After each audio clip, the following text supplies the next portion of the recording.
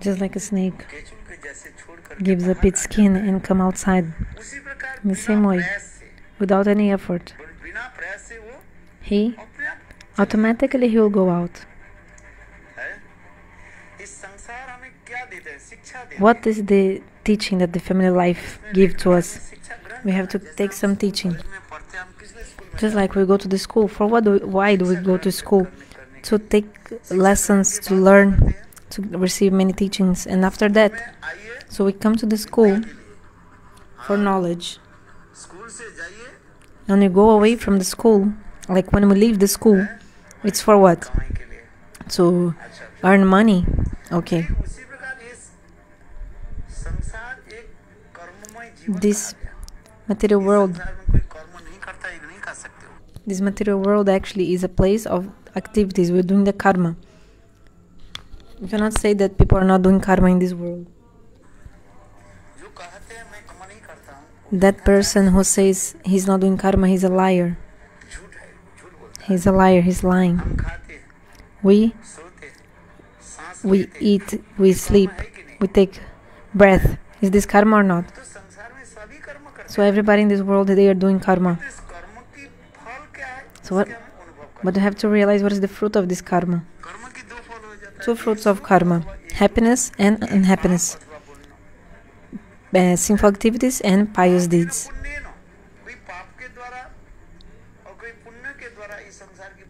So we are suffering or enjoying the sins and pious deeds. Sometimes we're unhappy, sometimes happiness. These actually are cause of bondage in, bondage in this material world. But by the association of sadhu, slowly, slowly, you'll get realization. Then you'll try endeavor for bhajan, endeavor, endeavor to perform bhajan. Everybody should endeavor to perform bhajan. Just like the Vrajavasis, they live in a family life or not? All the Vrajavasis, they left the house and they became Babajis? No. They live with the family in the house, the Vrajavasis. And they behave so sweetly with all the family members and they worship Krishna. Like they are making the cows, the Vrajavasi milking cows, and they are singing.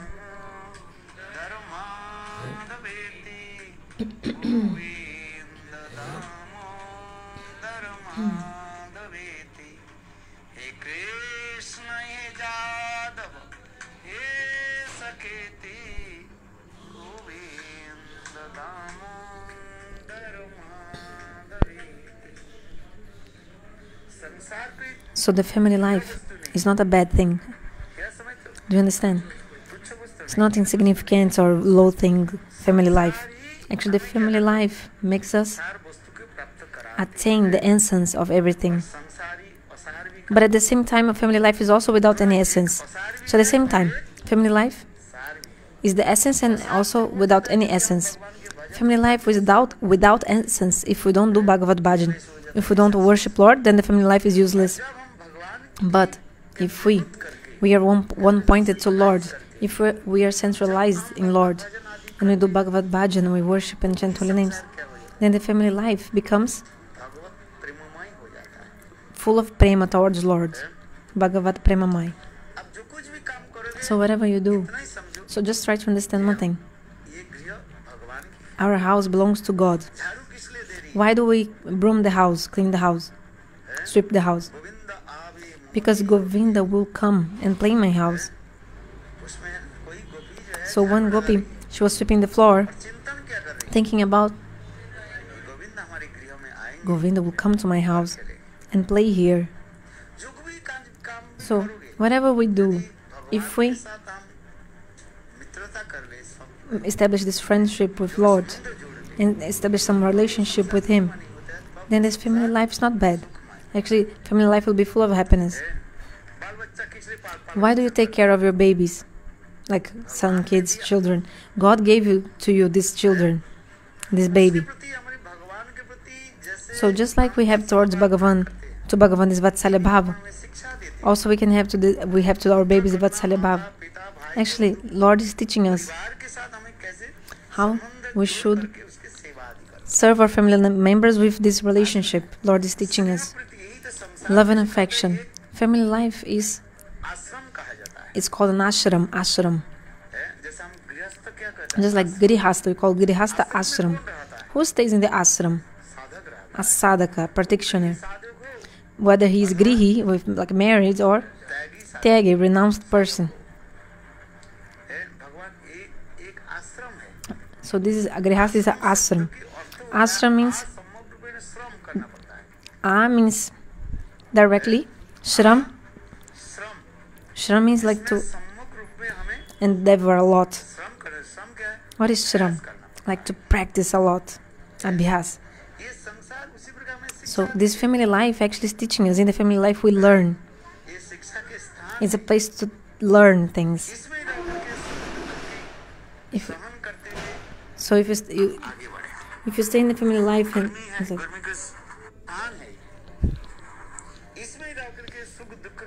so if we stay in the family life and tolerates happiness and unhappiness, then we can improve our, ourselves. Like if it's hot, you have to tolerate the hot, right? The heat. If it's cold, you have to tolerate the cold. Because this is the nature of the nature. like the nature is like this, you know, this climate, all these things. Nature is just following its own activities. Sometimes it's hot, sometimes it's a rainy season. This is the natural, you know, activities of the nature, and we just have to adjust ourselves to the climate or to the nature around us. Our family life also, happiness and happiness. You just have to tolerate adjustment. You have to adjust yourself. This is an art, kala. So, what is the art of bhajan? Kala doesn't mean banana, means actually art. Sorry, the art of life. What is the art of life? Is like this.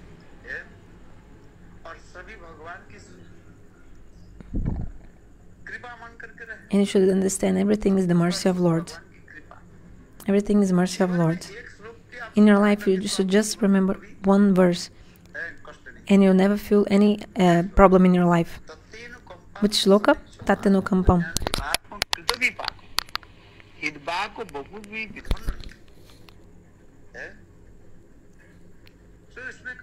Nishloka explains, you should understand everything as the anukampa of God, mercy of God.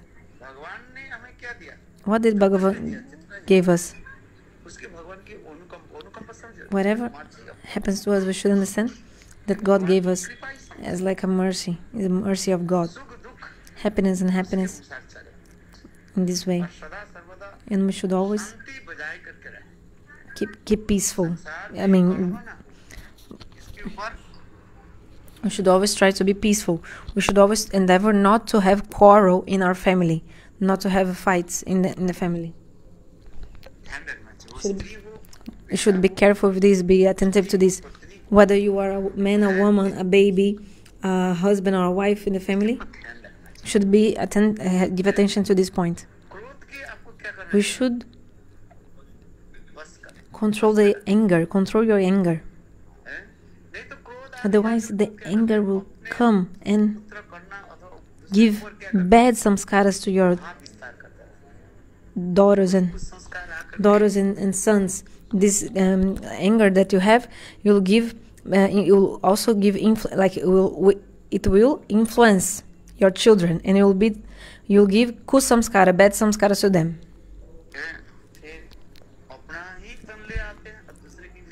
then they will also give problem to you later and to others.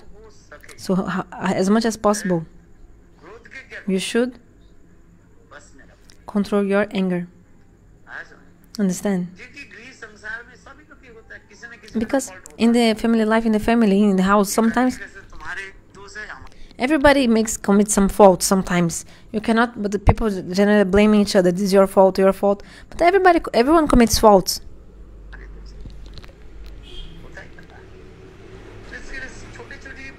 even for small things. Sometimes they become so big, a big quarrel. We should be careful about this. Otherwise, this bad samskar will also come to your children who are in the house. Gurudev used to give an example. There was an old father Okay, there was an old man. He was the father of the house. This father had one son who was married, and this son married had also one small baby.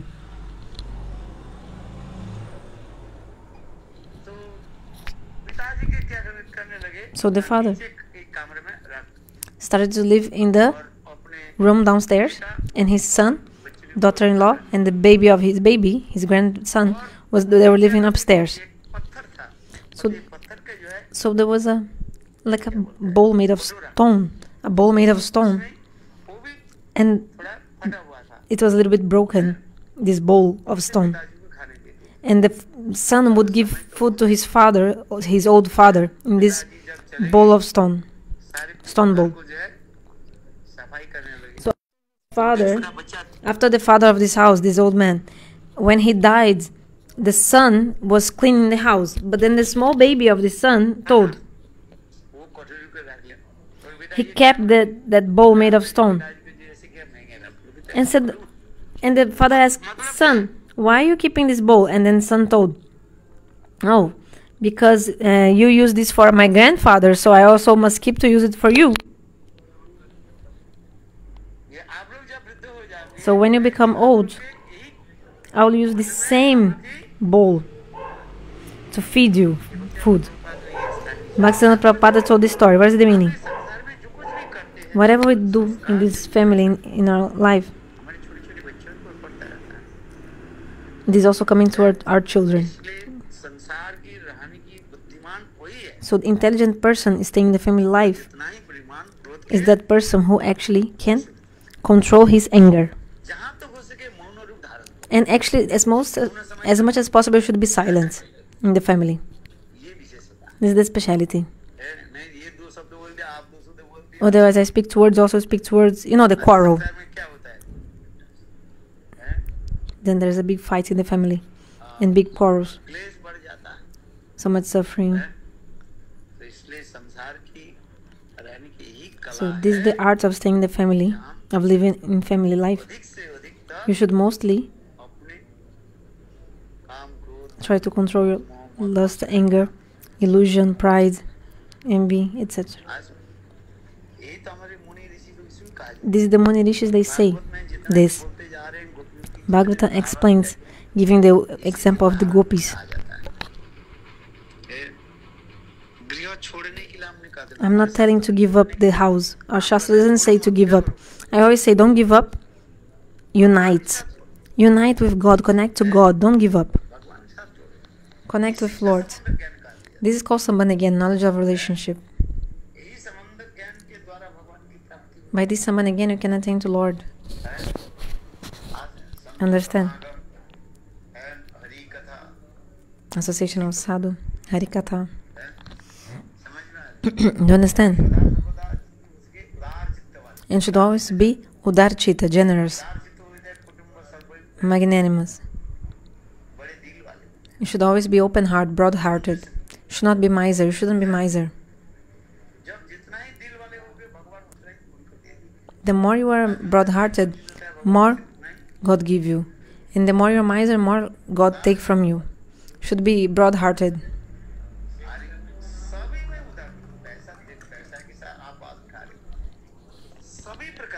I'm not talking only about money. I'm talking about also other other aspects. Udar, like generous. The, the person that in his heart he's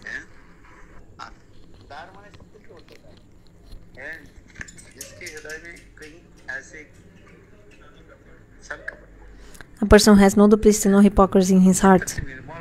His heart is pure. Your heart will be pure only when you do Bhagavad Bhajan.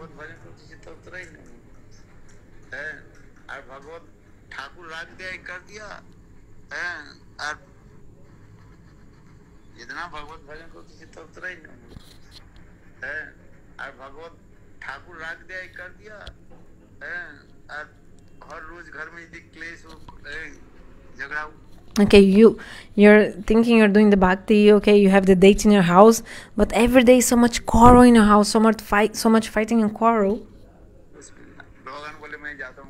then Bhagavan will say, I'll leave your house, I'll not stay here in your house. I want to go away from your house. So should always be Sukh and Santi, peace and happiness. Are the Veda Puranas Upanishads they say this? The last mantra of the Vedas is Om Shanti, Om Shanti, Om Shanti. Like be, be in peace. Peace. Peace is very important. Understand?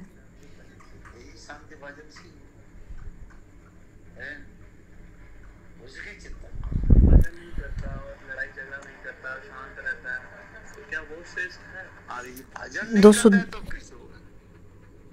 they would say yes. If the, those who are not doing bhajan but they are peaceful so they are higher Gurudev answers how can he be really peaceful without without bhajan? He should do bhajan. Chant holy names. Chant the holy names of lord. As much as possible chant holy names. Okay now it's 9.30 i must go. Have 15 minutes more. But they haven't taken prashad yet. The food will be cold.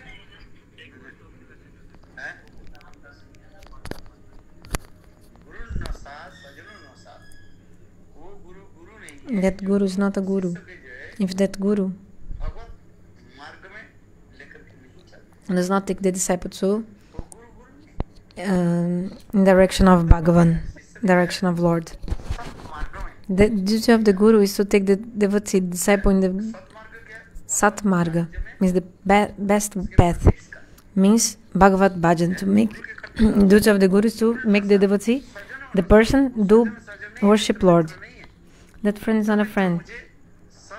If that friend does not give me good instructions, actually instructions on bhakti, that mother and father, they are not mother and father, actually if they don't give good instructions to the kid. What is what are good instructions? To inspire the kid in Bhagavad Bhajan is to encourage the children to worship Lord and chant holy names, Bhagavad Bhajan. What if your mother and father are telling you? Kanhaiya bit to him, to whom?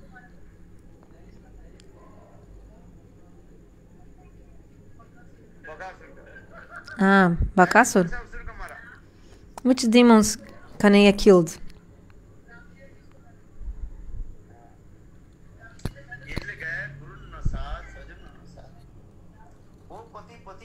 That husband is not a husband who does not give good instructions to the wife.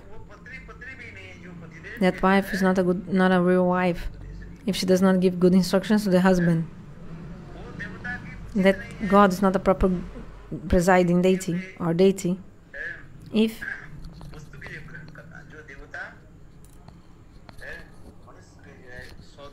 if he's not giving good instructions to the human beings.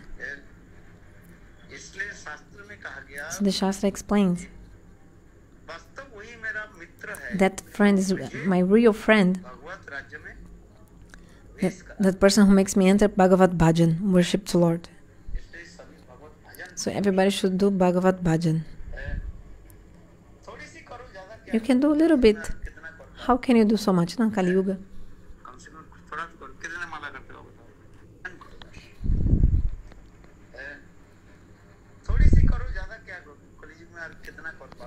in Kali Yuga, how can you do so much? At least, how much, are, how many rounds are chanting? You stop chanting? Did you stop? But you said before you were chanting. No.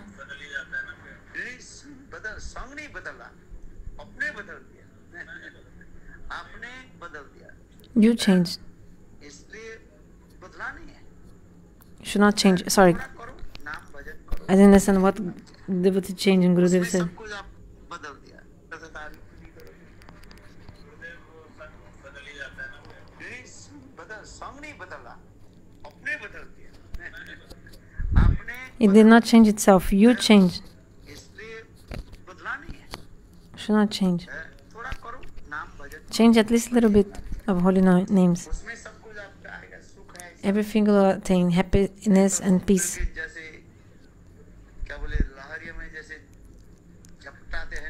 Otherwise, it would be just like the waves of the ocean beating, I mean, breaking on, on over you. So you should at least chant some holy names. Well, however, uh, how much is possible, just do it. As much as possible. And you'll see that you'll find happiness and peace out of it because of this. You want happiness and peace or not? After waking up early in the, mor- in the morning, chant holy names. At least two rounds, four rounds, as much as possible. First, was chanting 10 rounds, now zero rounds. Now he's chanting zero rounds. Your cricket fail. You fail in the cricket match.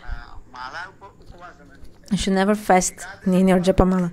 You fast on Ekadas, but you never fast on Japamala. Means not chant, not to chant. So chant holy names. You'll find happiness and peace. If anyone really wants happiness and peace, should chant holy names. And you'll feel so much bliss.